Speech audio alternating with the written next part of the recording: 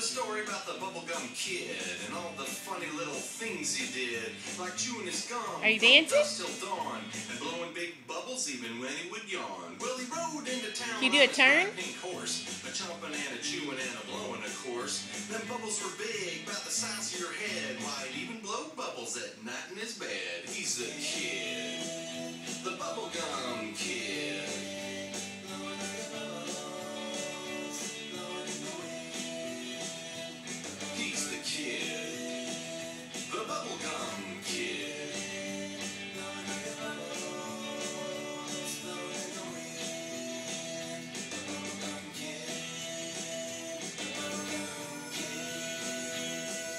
And one day the town folks all gathered around because the